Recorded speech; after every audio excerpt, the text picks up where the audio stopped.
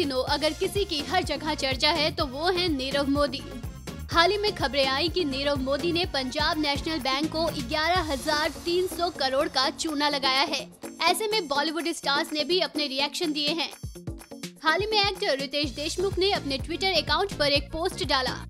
रितेश ने नीरव मोदी पर निशाना साधते हुए ये शेयर किया था। बैंक चोर मैं था लेकिन इस मामले के बाद मैं फेल हो गया।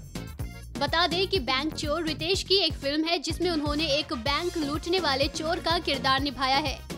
वहीं इस कड़ी में एक्टर फरहान अख्तर ने भी अपने इंस्टाग्राम अकाउंट पर एक मैसेज शेयर किया है।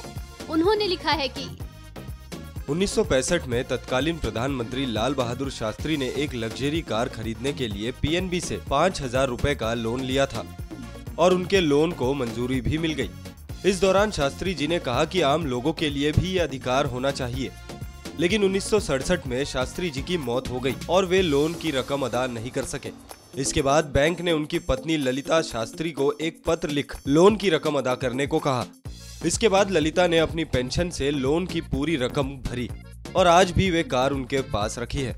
आखिर में फरहान ने कहा कि इसे कहते ईमानदारी। तो सुना आपने, वैसे आपको क्या लगता है कि फरहान का कहना ठीक है या नहीं? हमें कमेंट करके ज़रूर बताएँ।